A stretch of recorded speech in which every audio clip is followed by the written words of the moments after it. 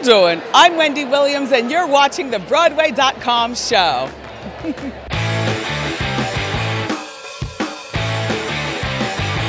Welcome to a special episode of the Broadway.com show, completely dedicated to covering all the glitz and glamour of the 2013 Broadway.com Audience Choice Awards. Let's get started with the news. What's the buzz, Ryan?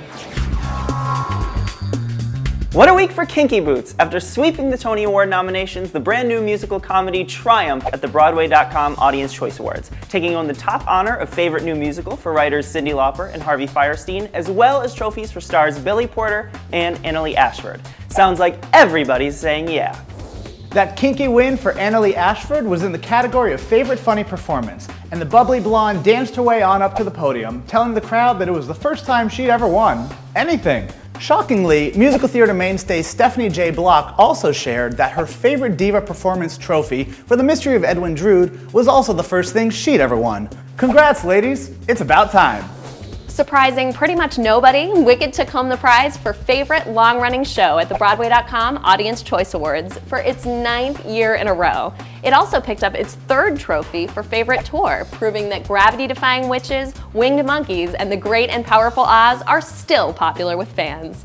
Really popular. Cinderella star Laura Osnes added two more Broadway.com Audience Choice Awards to her collection when she won this year for Favorite Actress in a Musical and Favorite Pair with co-star Santino Fontana. These are back-to-back -back wins for the Princess of Broadway, who also nabbed the Favorite Actress Award last year for Bonnie and Clyde. Congratulations again, Laura. We know a certain fish who is very proud. From her fabulous wig to her perfectly cinched waist, we were living for Audience Choice Award host Wendy Williams. So what if she mispronounced a few names? She brought fun, fashion, and fabulousness. And what more do you need from a host? Wendy, welcome to Broadway. We're happy to have you. Hear what the incoming Chicago star had to say about her big Broadway debut when we caught up with her on the red carpet. I never dreamt of being asked to be on Broadway, and my last play was Summer Camp when I was about 10 years old, Seashore Day Camp in Long Branch, New Jersey. It's really all about this Broadway thing, and I want to make you proud. I, I want to do well. Hey, I'm Matthew Morrison, and you're watching the Broadway.com show. You know what's amazing about Broadway fans besides their love and devotion? Their names. Blockheads, Fansies, Tvader Tots. But some followers don't have nicknames yet.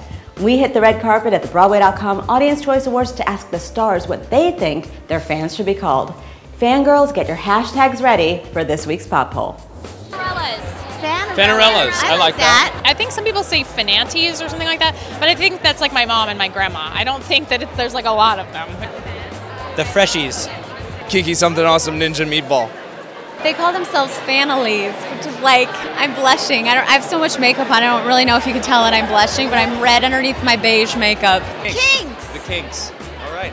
Montego heads or Glover heads. The co Cocoa Nuts. The Cocoa Puffs. Cocoa Krispies. I don't know. Some sort of cereal, maybe. They call themselves the Verkikings. I would, for me, they should call themselves the Orphanators. Bustle Fluffers. What? Our tweet of the week comes from Broadway.com Audience Choice Award presenter Ari Graynor, who ran into a certain kinky pop music idol of hers at the award ceremony and tweeted, Introduce myself to Cyndi Lauper tonight. Big opener. Without irony, I sing all of your songs at karaoke and try to honor you. Hashtag don't drink at awards shows. Don't be embarrassed, Ari. We've all honored the one and only Cyndi with our own divine renditions of Girls Just Want to Have Fun, right? No? Just me. Okay. You can follow Ari at A Graynor. Thumbs up and a personal thank you this week to all the amazing performers and presenters who kept things fun and sexy at this year's Audience Choice Awards. Matthew Morrison, Ari Graynor, Aaron Tveit, Stephanie J. Block, Jeremy Jordan, Sierra Boggess, Bobby Cannavale, Laura Benanti, Orfeh, Montego, and Wendy Williams. This thumb's for you. Just when I think I can't take it no more, I see your smiling outside the stage door and I say yes! Thumbs down to waiting six years and counting to see fabulous Tony nominee Orfeh open in a new Broadway musical. The Legally Blonde star's blistering duet with Montego Glover of the original blues song Broadway fan at this year's Audience Choice Awards reminded us that all we need is a great new role for Orfeh on The Great White Way. And Montego, too. Get ready for a Broadway smackdown. Last week, we asked you which hunky Hollywood bad boy you'd like to see star in a movie musical. Johnny Depp in Into the Woods or Channing Tatum in Guys and Dolls? Well, the results are in, and the hunky Magic Mike star walked away with 63% of the votes. And now for this week. When accepting his Audience Choice Award for Favorite New Song, Matilda composer Tim Minchin confessed that this whole award season makes him feel like he's in a perpetual cage fight with Kinky Boots composer Cyndi Lauper. So we wondered, who would actually win in a cage fight? Cyndi Lauper or Tim Minchin? Tweet your vote to at BroadwayCom with the hashtag BWaySmackdown and tune in next week to find out the winner. Sunny, give a shout out to Broadway.com.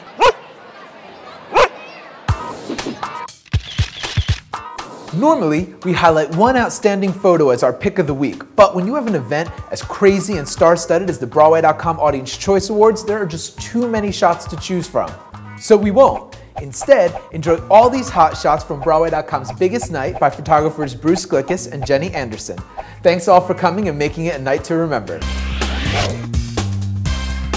Our high five is a roundup of very quotable sound bites from the acceptance speeches of this year's Audience Choice Award winners.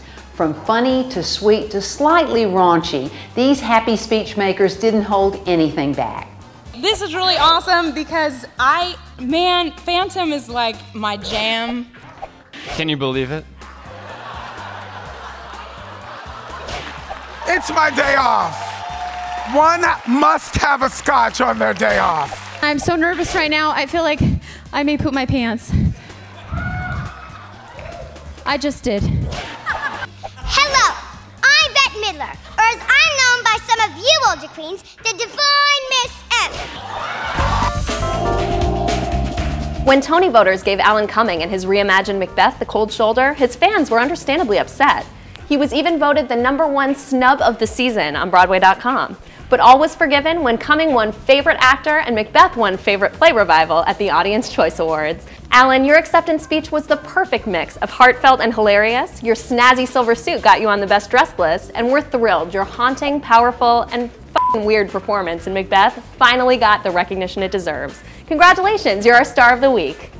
Thanks for tuning in to this week's episode of the Broadway.com show. We'll leave you with Tiny Talents Emily Rosenfeld of Annie and Raymond Luke Jr. of Motown as they brought the house down at the Broadway.com Audience Choice Awards with the hilarious anthem, Kids, We Rule Broadway. See you next week.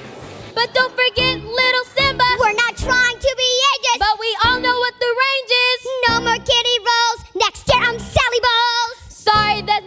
if you're not born in this century.